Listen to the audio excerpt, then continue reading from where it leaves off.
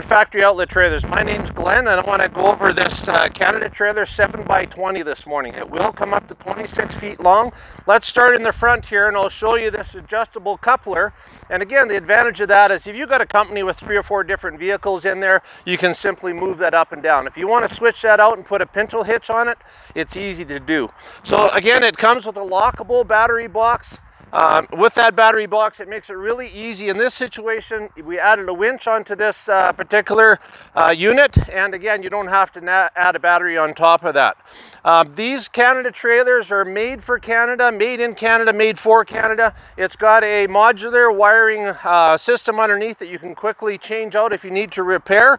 Heavy duty uh, treated deck on the top here. Again, we get uh, really hot summers and really cold winters in here. You're not going to have to worry about that deck uh, deteriorating. It also has a knife edge on the back, which makes it really easy if you're going to unload this trailer. You want to drag a sea can off there, not going to damage the back of that trailer.